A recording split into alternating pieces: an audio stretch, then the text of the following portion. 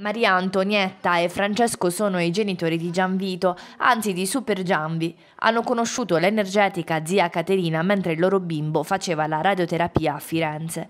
Erano già a metà del percorso di cure e prima di conoscere questa donna spumeggiante erano chiusi in loro stessi, nel loro dolore, arrabbiati per quello che stava accadendo. È sempre inaccettabile una malattia e quando tocca un bimbo lo è ancora di più. Dopo aver fatto la conoscenza di Caterina Bellandi, la tassista toscana più famosa d'Italia, hanno cominciato a ritrovare il sorriso perché il tempo del bambino e di tanti coetanei malati in ospedale diventava una vacanza e lei, come una moderna Mary Poppins, provava ad esaudire ogni loro desiderio rendendoli dei veri supereroi. Sono diventata tassista per caso quando il mio amore è nato al cielo, 17 anni fa.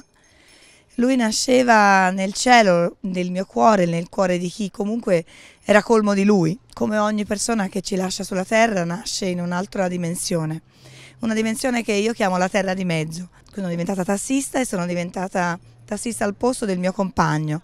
Questo mi ha dato la forza e l'energia per non essere solo me, ma essere me al di fuori di me e un pezzettino di lui, un pezzettino di quello che lui mi lasciava.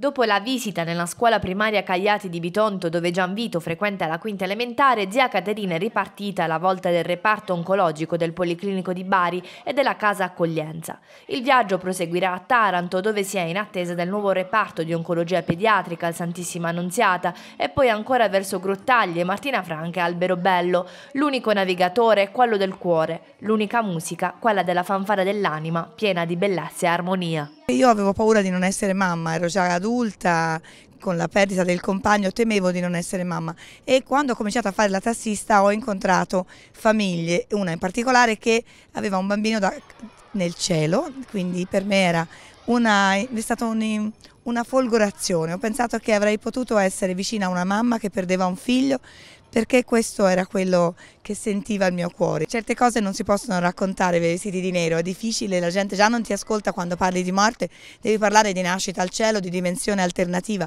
altrimenti ci spaventiamo. Educare al sentimento, educare alla paura, educare alla conoscenza che la vita è solo un prestito e che dobbiamo restituirla. Ognuno di noi ha, ha ricevuto in prestito la possibilità di abbellire la propria esistenza, lo deve fare e se non lo fa quando la dovrà restituire, restituirà qualcosa che non piace ed è triste pensare che si restituisce qualcosa peggiorato invece che migliorato, è un prestito vivere.